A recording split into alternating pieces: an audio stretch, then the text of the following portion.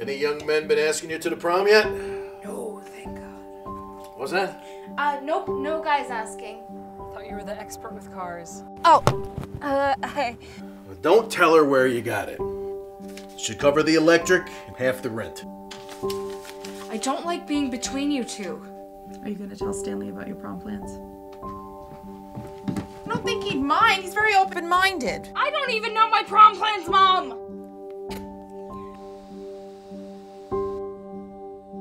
Harper, are you going to prom? I was planning on, uh. Good. Go-